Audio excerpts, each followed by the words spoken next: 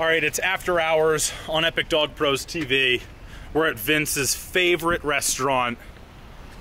You want to tell him where we're going? Fosso one. Fosso One. Here we are, the best pho in Orange County.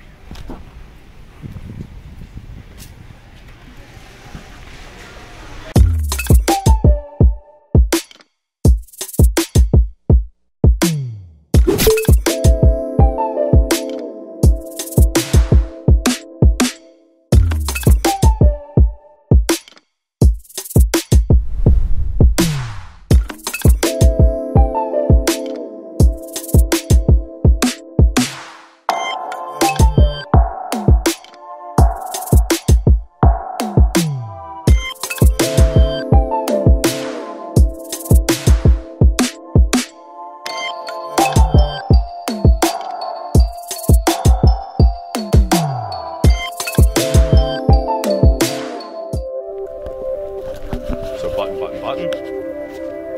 And look what happens.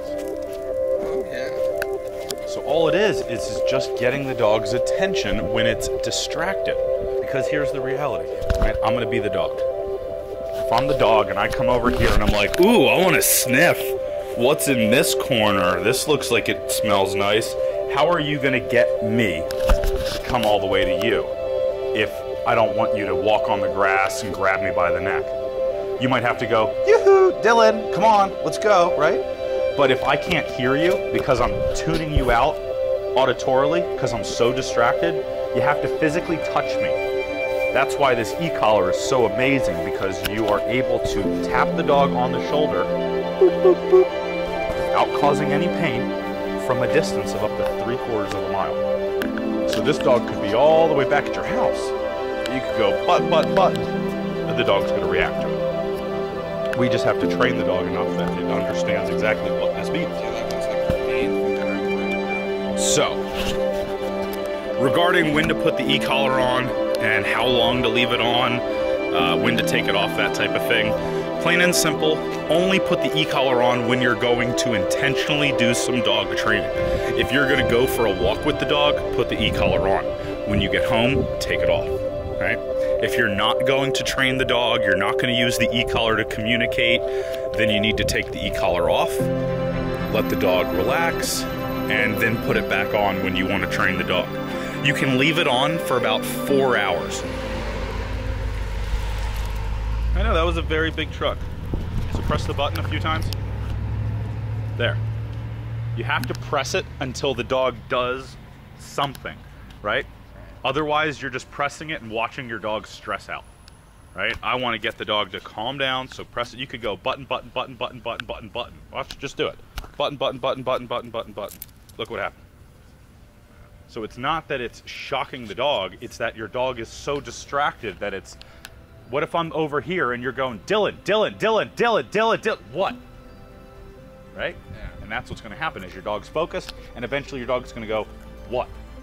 I need the dog to say what. Now I've got your attention. Now you can say, Dylan, come here, relax. Okay, right?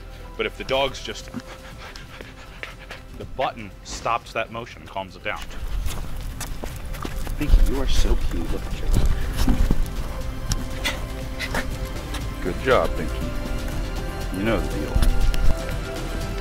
Button, button, button. Good. Good.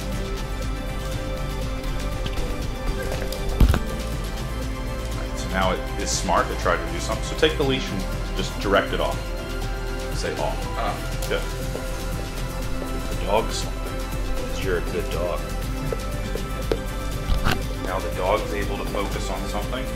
You're able to eat your dinner, put a TV show on, and now you guys are coexisting versus having a dog who's codependent.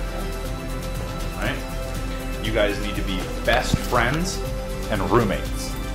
If I was jumping on you every time you had food, it would be weird. You can't have that dynamic. The dog needs to go, hey, I'm doing my thing, you're doing your thing, we're best friends, right? And that's the relationship that we want. And then we can go, come, place. And the dog should be there. And then you can eat your food. And again, you guys are coexisting. Down.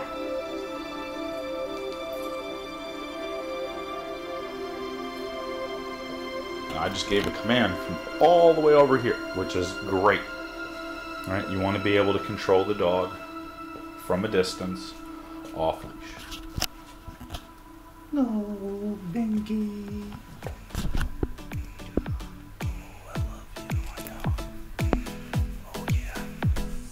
Look at your little big belly. Oh I know. You gonna give me some love? Oh my god.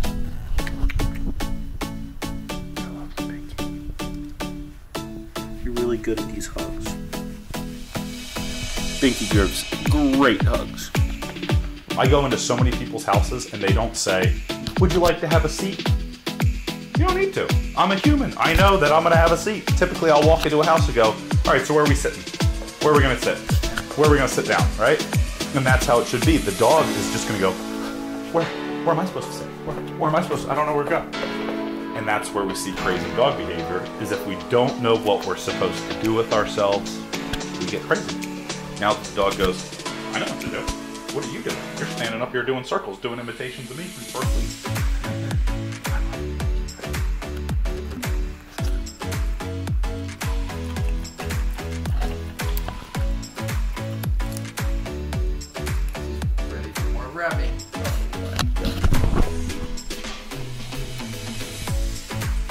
There's your belly rubbing. So when you take it away, the dog's gonna want to jump off, which is the main problem that you're having with the place. Is the dog will get off once you put it on because it wants to stick to you like a magnet. It's like I need to stick to my dad. He's gonna give me the affection. So the more you can do this, the better.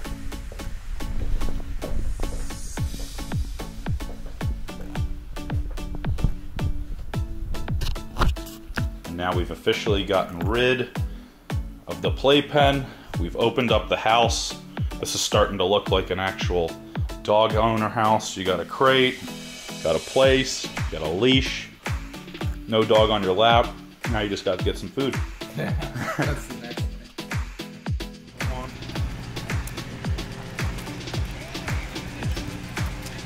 Morning. Oh my gosh. How's it going? Come on, Vicky. Come on. Good. And she knows them, so she would typically want to run over and go say hello. Well, just like that, worked her through. Come on. Good job. Come on, Binky. So it doesn't matter if there's construction, there's other people. Doesn't matter what it is. Dogs should be focused on you.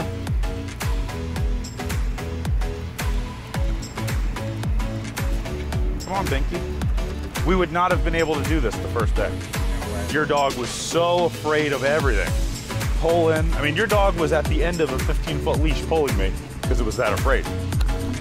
Binky was a very scared puppy. It was in, extremely hard to walk the dog, just scared of the world. But now that we've opened up some communication and helped Binky see that the world is not scary, Binky, come on. Even that. I just pressed the button once. I'm at an eight. And the dog goes, All right, I'm coming. I got it. I just thought maybe we could sneak home this way.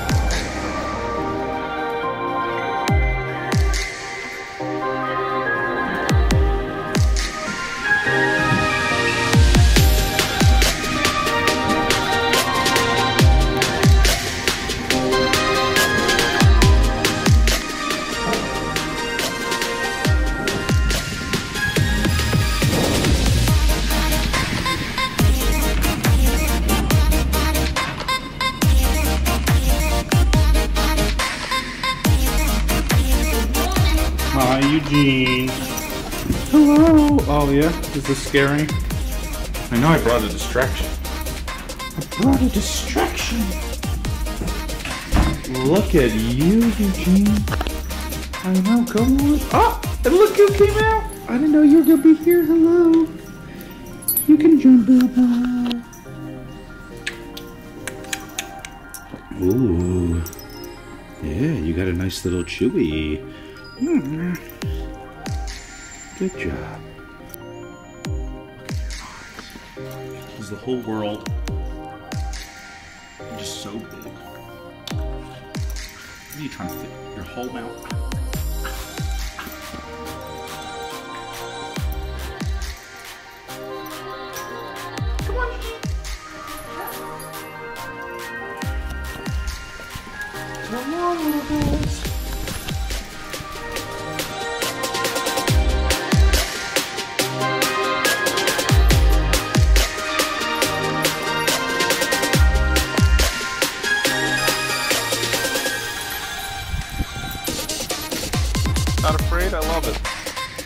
So ultimately, it's important to switch up the walk every single day, or at least a few times a week, so that way the dog doesn't get used to the same routine, and the dog gets to experience new distractions.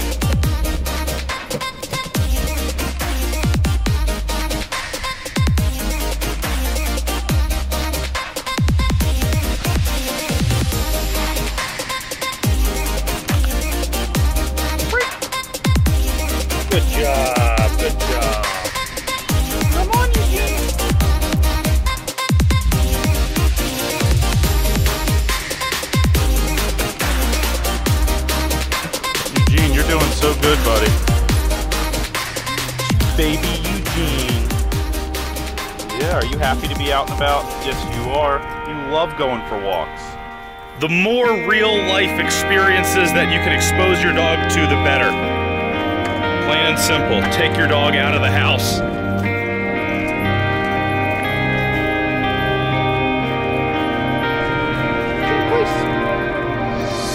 Just like that, the dog can climb up it. It's a little bit easier than the uh, bench where it's like a, just a hop and a jump.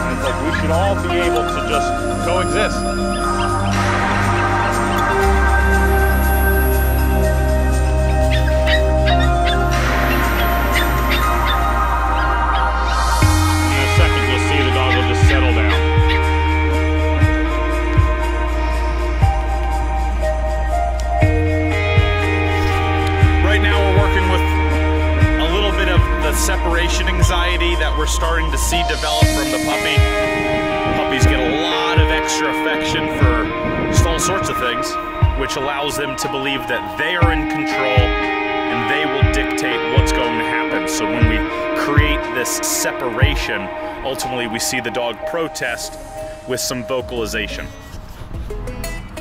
Eugene is working through it. You can do it, buddy. You're gonna detox through that. I know. They're right there. We're talking maybe 10 feet. You're here, they're there. I'm gonna walk away from you. Hey, buddy. You certainly are doing good.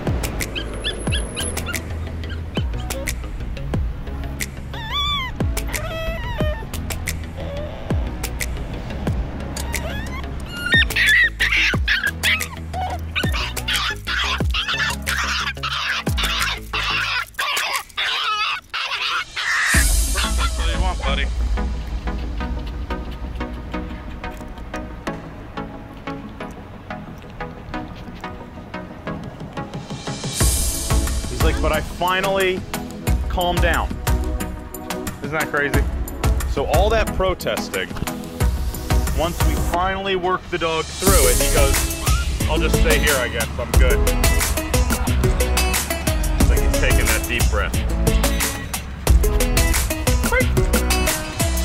Come on.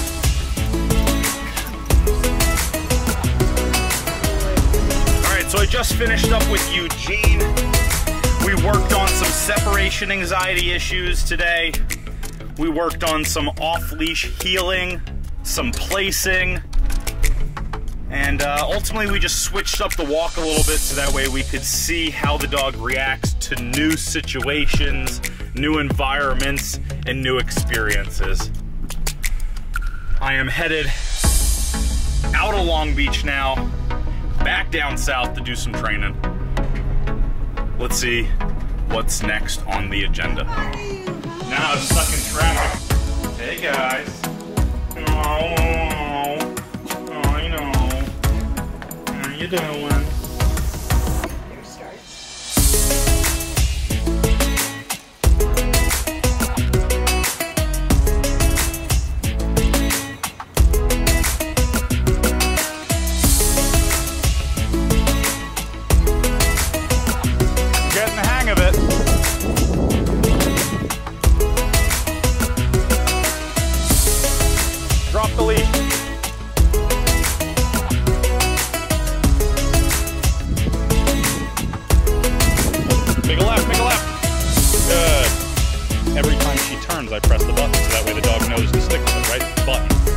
Just like when you go around the corner, you want to press your brakes to make sure that the car doesn't, you know, go out of control.